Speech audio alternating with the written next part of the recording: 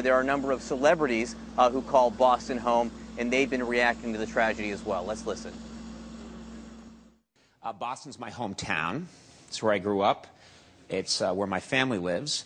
So I wanted to take a moment to say that, like everybody here, my thoughts and prayers are with the people of Boston and everybody who's been affected by this absolutely senseless act. Now, before we officially begin the show, we just want to take a moment.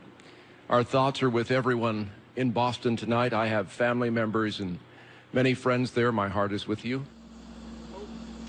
You know, Conan O'Brien, Tom Bergeron there. There were tweets from other famous Bostonians as well. They simply flooded in. Actor Mark Wahlberg said, Thoughts and prayers with my hometown, Boston, today. Co host of Extra, Maria Menounos, who's from Medford, Massachusetts, said, Praying for everyone home in Boston, devastated at the news.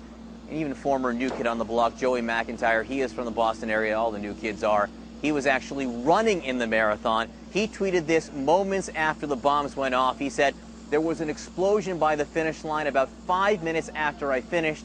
I'm okay, but I'm sure there are many hurt. And boy, was he right. 144 people injured, three people dead this morning, including one eight year old boy.